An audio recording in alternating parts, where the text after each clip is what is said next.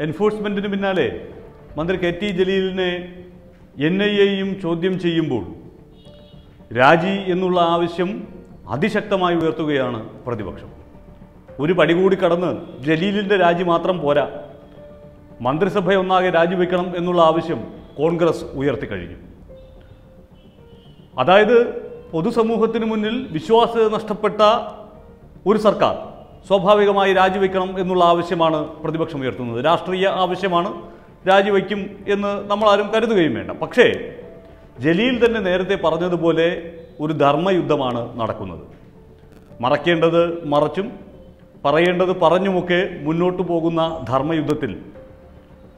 പക്ഷേ മന്ത്രിസ്ഥാനത്തിരുന്നു കൊണ്ട് ആ ധർമ്മയുദ്ധം അങ്ങനെ തന്നെ ജയിക്കാം എന്നുള്ള ധാർമ്മികതയിൽ തന്നെയാണോ ജലീൽ മുന്നോട്ട് പോകാൻ ഉദ്ദേശിക്കുന്നത് എന്നുള്ളതാണ് പരമപ്രധാനമായ കാര്യം.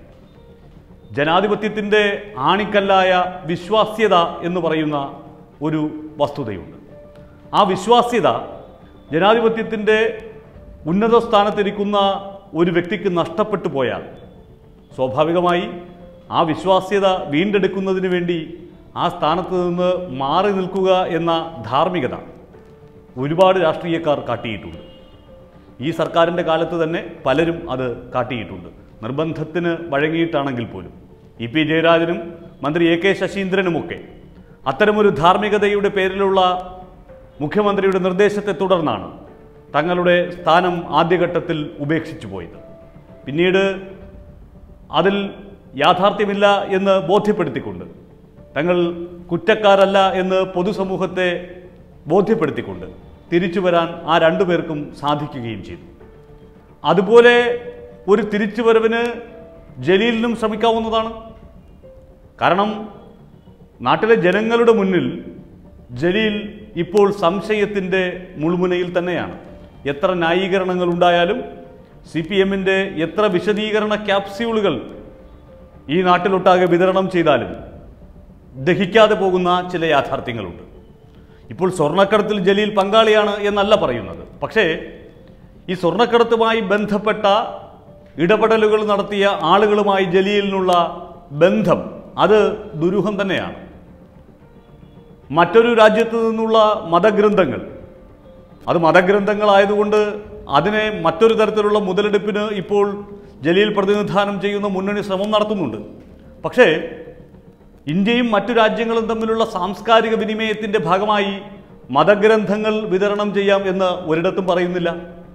അങ്ങനെ മതഗ്രന്ഥങ്ങൾ വിതരണം ചെയ്യാവുന്ന തരത്തിലുള്ള സാംസ്കാരിക വിനിമയം ഒരു രാജ്യവുമായും ഇന്ത്യ വച്ചു പുലർത്തുന്നുമില്ല അപ്പോൾ പിന്നെ മതഗ്രന്ഥങ്ങൾ വിതരണം ചെയ്യാനുള്ള ഒരു രാജ്യത്തിന്റെ കോൺസുലേറ്റിന്റെ തീരുമാനം മറ്റാരെയും അറിയിക്കാതെ മന്ത്രി ഒറ്റയ്ക്ക് നടപ്പിലാക്കി എന്നുള്ളത് ഗുരുതരമായ ചട്ടലംഘനമാണ്. ആ യാഥാർത്ഥ്യം അവിടെ നിൽക്കുന്നുണ്ട്. സ്വർണക്കടത്തിലോ കമ്മീഷൻ അടിക്കുന്ന കാര്യത്തിലോ ഒന്നും ജലീലിന് പങ്കാളിത്തമില്ല എങ്കിൽ പോലും. അങ്ങനെ അവിശുദ്ധമായ ഇടപെടലുകൾ നടത്തിയ ആളുകളുടെ പങ്കാളിത്തത്തോടു കൂടിയുള്ള ഈ പറയുന്ന മതപരമായ വിനിമയത്തിന് വേണ്ടിയിട്ടുള്ള ശ്രമം പോലും ഒരു മന്ത്രി എന്നുള്ള നിലയിൽ ജലീലിന്റെ വിശ്വാസ്യത ഇല്ലാതാക്കുന്നത് തന്നെയാണ്. എൻ ഐ എ അറസ്റ്റ് ചെയ്യുകയോ അല്ലെങ്കിൽ കസ്റ്റംസ് അറസ്റ്റ് ചെയ്യുകയോ അവർ കുറ്റക്കാരനാണെന്ന് പറയുകയോ ചെയ്താൽ മാത്രം രാജിവെച്ചാൽ മതി എന്ന് വാദിക്കാമെങ്കിൽ പോലും. ജലീലിന്റെ ഭാഷയിലുള്ള ആ ധർമ്മയുദ്ധത്തിൽ ജനങ്ങളുടെ മുന്നിൽ ജലീലിന് ബോധ്യപ്പെടുത്താനുള്ളത് തന്റെ നിരപരാധിത്വമാണ്. അങ്ങനെ നിരപരാധിത്വം ബോധ്യപ്പെടുത്താൻ ശ്രമിക്കുന്നതിനിടയിൽ തന്നെ ഈ മതഗ്രന്ഥങ്ങൾ സ്വീകരിച്ചതും അത് വിതരണം ചെയ്യാൻ തീരുമാനിച്ചതുമൊക്കെ സ്വന്തം ഇഷ്ടപ്രകാരം മാത്രമായിരുന്നുവെന്നും അത് ഒരു സ്റ്റേറ്റിന്റെ താല്പര്യങ്ങൾക്ക് വിരുദ്ധമായ നീക്കമാണ് എന്നുമുള്ള യാഥാർത്ഥ്യം നിലനിൽക്കുമ്പോൾ ആകപ്പാടെ പുകമറയ്ക്കുള്ളിൽ എത്ര കാലം സത്യം ജയിക്കും സത്യം ജയിക്കുമെന്ന് മുഖപുസ്തകത്തിലൂടെ പറഞ്ഞുകൊണ്ടിരിക്കാനാകും? അവിടെ ഒരു ധാർമ്മികത ഈ ധർമ്മയുദ്ധത്തിൽ പുലർത്താൻ ജലീലിന് കഴിയേണ്ടതുണ്ട്.